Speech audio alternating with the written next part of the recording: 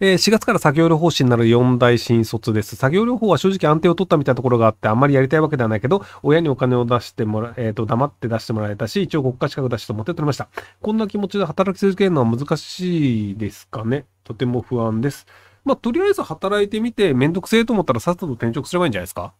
ただ、少なくとも、まあ、あの、一応その新卒としてあの仕事に就くっていうのをやってみて、社会に出るっていうのは早めに経験した方が、まあ、その後自分が何やりたいのかとか、何が向いてるのかっていうのも判断しやすいので。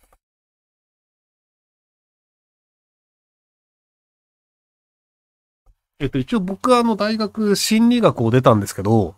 別にそのなんか大学で学んだ心理学を活かそうとは、ついほど思ってないんですよね。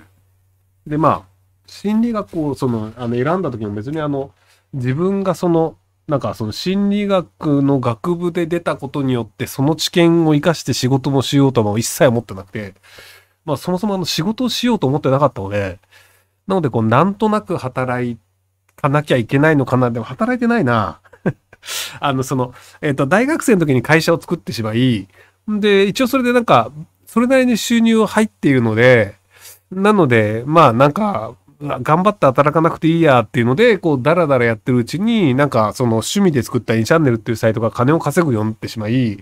で、なんか別に、あ、もう働かなくてもいいやっていうことになってしまい、で、その後なんかニコニコ動画っていうサイトも割とやってみたらなんか成功してしまい、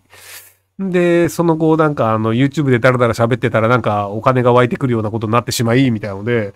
なのでなんかこういうことをしたいと思って大学でやったことがこうなんか働く上で役に立ったかというとほぼないです。ただあの、まあなんかその大学に行くぐらいだったら英語喋れるようになった方がいいなっていうのを思って、アメリカのあのアーカンソー州にある Central University of Arkansas 大学というところに行ったんですけど、で、一応そこで1年ぐらい、まあ、あの、大学の授業を受けたりしてて、で、その、まあ、バイトもしたりしてて、で、なので、その、日本がめんどくさいことがあったとしても、僕別にアメリカで暮らせるよねっていうのも割と実感したんですよね。なので、その、まあ、よくその、なんか日本の社会大変だとか、なんかあの、この会社を辞めたら他で働くことなんかお前できねえよとか、なんかその地元を離れて生きていくってどうやっていいかわからないから不安みたいなのが多分あると思うんですけど、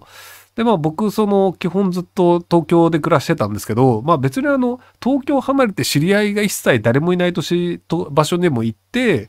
普通に仕事をするっていうことができたので、なので、あ、僕別にそこら中どこ行ってもなんとかなるなっていう実感ができちゃったんですよね。で、一応英語も喋れるので、なので、その、じゃあアメリカじゃなくても英語圏だったらどこでも行けるよねってなると、別にイギリスでもオーストラリアでも、で、ヨーロッパも実は英語喋れると結構仕事見つかるんですよね。あの、その現地の言葉喋れなくても。だからウェイターさんとか、あの、パリで働いてるウェイターさんとかで、あの、英語ベースでフランス語そんなに得意じゃねっすみたいな人って結構いたりするんですよ。なので、なんかまあ、なんとかなるよねっていう実感を持ってしまうというのが大事なので、で、結果として、まあ、あの、いろんなことやってても、まあ、それなりに暮らせるっていうのは一応大学の時にその経験があるからっていうのはあるんじゃないかなと思います。